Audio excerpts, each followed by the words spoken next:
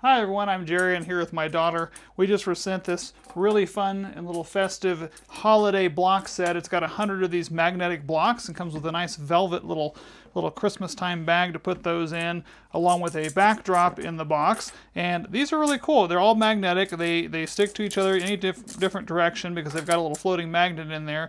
And uh, they, some of these have different scenes, different faces. So we're going to kind of work on it and build a little holiday scene here with the house and kind of show you what we think. In just a few short minutes, we've actually already started to create this endless wonderland. There are so many different possibilities because each one of these blocks has different things on each side. So you have grass or snow or a mixture of both or ice, or you have the faces or backs or arms of different little critters that are within the deal.